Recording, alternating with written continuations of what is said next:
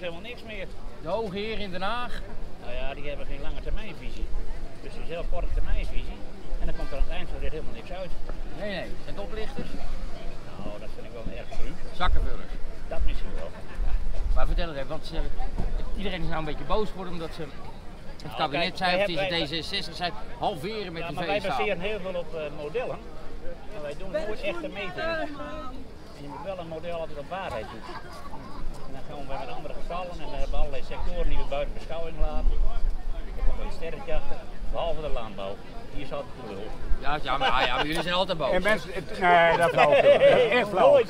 Hoor zo. De agrarische sector, in de breedste zin des woords, is een hardwerkende groep mensen.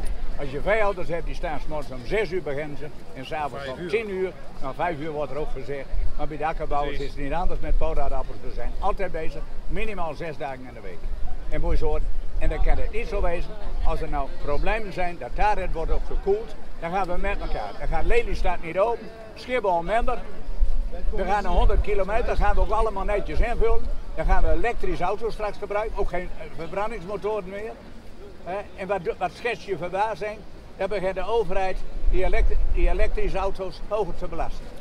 Zijn er ook elektrische trekkers eigenlijk? Nee, nee, die gaan allemaal rijden Nog op niet. waterstof. Kom misschien wel. Op waterstof. Waterstof beter. Ja, nee, dat is prima. Maar even, van wat, kijk, eh, even serieus. Even, Ja, eh, wat- echt, kijk, wij menen dat ook serieus. Jullie, worden keihard aangepakt. Ze zeggen halveren van de veestapel al. Stel dat die plannen van het kabinet doorgaan, wat betekent dat voor ons burger dan? Even los van, van de boer is het lastig. Want Wordt ons eten dan duurder? Dat krijgen ze nooit aan. En, eh, Laten we Nou maar ja, heel eerlijk. Je ziet nu hoe de agressie al van de boeren hier is. Hoeveel boeren hier al zijn. En als het kabinet verder gaat daarmee, hè, dan komt er nog een veel grotere aanslag. Dan is dit nog maar een kinderspel. Aanslag? Ja, aanslag. Waar Wij pikken dat niet. Wij pikken dat niet. Zo mooi! Waarom laat ons toch niet kapot maken? Generaties van mij zijn agrariër in Groningen. Laat me toch niet kapot maken, deze generatie. Ja, ja, in Groningen heeft het helemaal zwaar te verduren. Alsjeblieft, dat kun je zien. Ja? Maar hij heeft het over aanslag. Heel Groningen is kapot. Nou ja, eh, 600 miljard is Nederland beter geworden. 300 miljard de staat en 300 miljard de oliemaatschappij.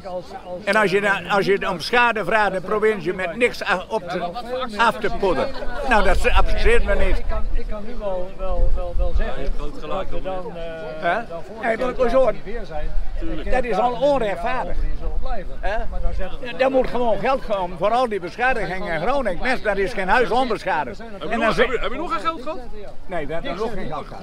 Want, want Den Haag Ik heb afsluiten. 1,16 moeten We hebben nog pech dat de rente laag zat. Dus, eh, Nee, nee, moet je horen. Men verrekt het gewoon te betalen. hadden we 4 miljoen. oh, dat is niet netjes in Nee, maar Nederland. zo is het. 70.000 Ja? Maar moet je horen, vroeg of later komen we elkaar tegen. Mooi hoedenbreek. En, en, Jullie moeten nu met z'n allen naar het Binnenhof niet hier blijven nou ja, nee, het Binnenhof moet je daar zo. Jullie mogen met de auto's En dat zijn de feiten. Genaaid. En eh, ik zeg, Den Haag, politiek en samenleving, luister, het is ons gezamenlijk probleem. De landbouw heeft al ontzettend veel ingeleverd. Realiseer je dat? Maak deze goede, hardwerkende, schone sector niet kapot. Jullie krijgen het nooit meer. En wilt u wat zeggen tegen mevrouw Schout of bijvoorbeeld tegen die Tjeer de Groot van, eh, van D66? Hè, die zeggen halveren met de hele donderse veestapel. Nou, dat is de makkelijkste Nou, oplossing. Dat is de nou, makkelijkste oplossing. Moeilijke oplossing gaat allemaal uit de weg. Dan Gewoon moet- kort dan termijn moet- denken dan wat moet u je zei. schip- moet je schip alweer gooien. En dan komen ze bij de burger. Die wil graag met vakantie. Ja, ik We wilden ook geen, we wilden ook geen heffing gooien op, eh, op een gegeven moment een ticket. vorig Dan jaar gaat hij 1 nog met een februari waren wij hier ook op Malieveld. Was ik een van de actievoerders voor de aardbevingen. Misschien weet u dat nog. Toen heb ik met eh, minister Wiebes en eh, minister Schouten een trekkergesprek gehad hier op Malieveld. Ik heb ze toen gezegd, wil je 4000 tractoren, dan moet je niet gaan luisteren. Dan moet je niet gaan uitvoeren. Ze hebben ook niet geluisterd. Nee, precies. Eh, dus, Dus er moet misschien ook een keer weer komen.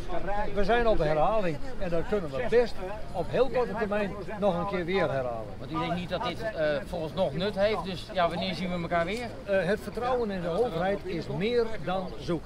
Er Wanneer zien we elkaar dan weer er zijn uit onze provincie maanden. 600 miljard aan aardgasbaten gevloeid hier naar het westen des lands. En wat komt er terug? Enkele miljoentjes en een mil, eh, 1 miljard voor het Nationaal Programma Groningen, voor mooiere pleintjes, mooiere schooltjes enzovoort. Denk je dat daar onze kapotte velden, kapotte drainages en kapotte boerderijen eh, mee hersteld kunnen worden? Ik denk het niet. Nou, dat dacht ik. Maar Anders kom je lekker verhuizen, kom lekker naar de Randstad. Wij, wij Nee, begrijpen te vol. elkaar. Te vol. Nou, is dan weer te vol. Ja, het is nooit goed, hè? Nee, jongens, maak er een goede dag. Dankjewel. wel.